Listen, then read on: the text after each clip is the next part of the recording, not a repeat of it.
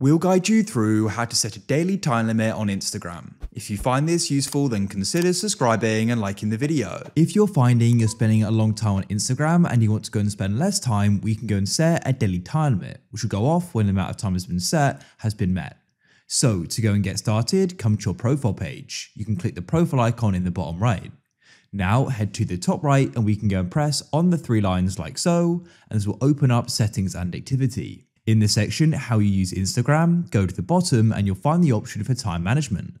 What you can then do is go and tap on it.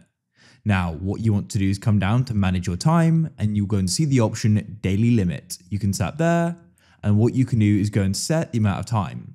After this time has passed, you're going to be reminded to close Instagram. So we can go and set it to 15 minutes, for example, and that's it. You've now gone and set it, and we can now go and start using Instagram, and it'll go off when that has been met.